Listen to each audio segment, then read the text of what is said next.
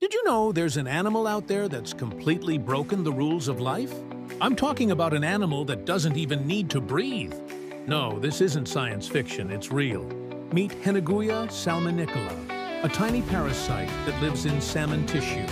Scientists recently discovered something absolutely mind-blowing about it. While basically every other animal on Earth needs oxygen to survive, this little guy just doesn't. How? It has no mitochondria. That's the part of the cell that acts like a power plant, turning oxygen into energy. This creature just skipped that whole step. It's like it found a life cheat code that no one else knew about. It doesn't breathe, it doesn't need air, it just exists.